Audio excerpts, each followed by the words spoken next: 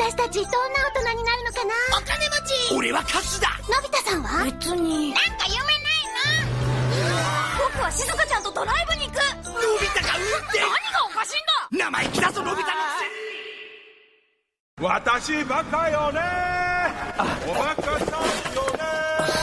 全くだよ。なんか言ってか？あいやあの送ってくれてありがとうじゃねえのび太のくせによのびのび太30歳やっぱり独身。トヨタです。大人になったらドライブしてバーベキューして。のび太さんと出かけるのって久しぶり。外に出るとろくなことないんだよね。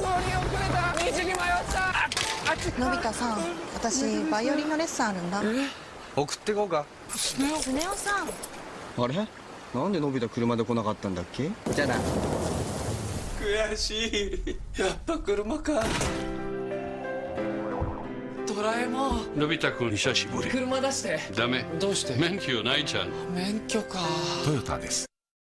あスネ夫と静香ちゃんがまたドライブしてる。ダメダメ。こんな未来。のび太くん車なんかなくたってさ。どこでもドア。すぐ海だし。知ってるよ。知らんな。よジャイアン。なんだお前らバカにしてるのか風景が見たいならさ。タキコプタもう道具に頼りたくないんだ。自分で運転したいんだ。まずモーターショーへ行く。どこでもドア出して。ー頼らないって言ったじゃん。ケチトヨタです。タキコプタそうじゃないんだ。もう道具に頼りたくないんだ。自分の力で運転したいんだ。よだから免許出して。ー頼らないって言ったじゃん。ケチ。トヨタですのび太さん教習所行かないの？諦めた。ブレーキです。ネットの方が楽しいし。もしも免許が取れたらって考えたことないの？そうだ。もしも僕使ってみて。もしも僕が免許を取ったら。